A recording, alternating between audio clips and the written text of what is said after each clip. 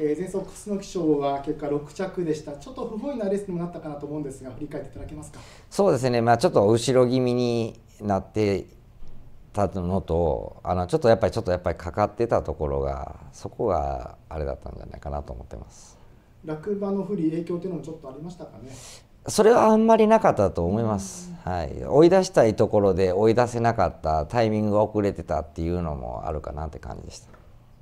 あのポジション後ろになったのもちょっとあの馬らしくなかったなと思ったんですが。そうですね。もともとこうスタートして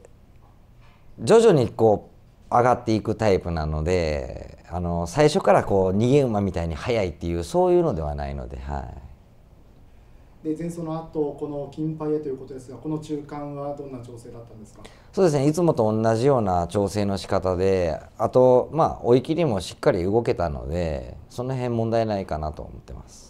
その追い切りは具体的にどんな内容で？まあ、いつも通り長めから行って最後しっかり直線だけ追うっていう形をとってます、はい、秋3走消化しましたが上昇度っていうのはどうですか？そうですね。まあちょっと冬に寒くなってからちょっとこう冬毛みたいなのもちょっと生えてきたんですけどまあそれでも至って変わってないかなって感じです。はい。菊水商馬でただその後勝ててなくてちょっとこうもどかしい思いも先生あるかなと思いますがそうですね。自分のやっぱりスタイルの競馬ができていないのがそこが問題だったんかなとは思ってます。その具体的に自分のスタイルというのは？スタイルというのはやっぱりまあ前々につけれて自分でペースがこう上げていけるような流れになったらいいんじゃないかなと思います。今回は 1870m 戦とまた距離が伸びますけども距離に関していかがですか？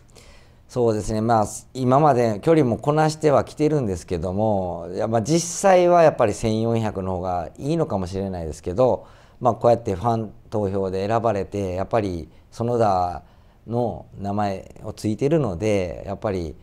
オーナーの意見を取り入れてこうここの出走になりました。自分でペースを握ってという話が先ほどありましたけども今回理想的な展開としてはやはり前に行ってということになりますか？そうですね、まあ、もし行けるならばもうコバ相手なんですけども行ってこう当たって砕けろみたいな感じですね。はい。同じ3歳同世代のライバルのスマイルミーシャも出てきます。そしてラッキードリーもいますけども相手関係どうですか？そうですね。やっぱりあのねコバもやっぱ強いしまあみんな強い馬が出てきているのでそれよりもやっぱり自分の競馬に徹してこういいそのファンに魅了できるような競馬ができたらいいなと思ってます。先生から見てこの馬のいいところ長所どんなところと見てますか？そうですね。まあスピードもあるしそそこまでバテる馬でもないのでその辺がいいかなって感じです。はい、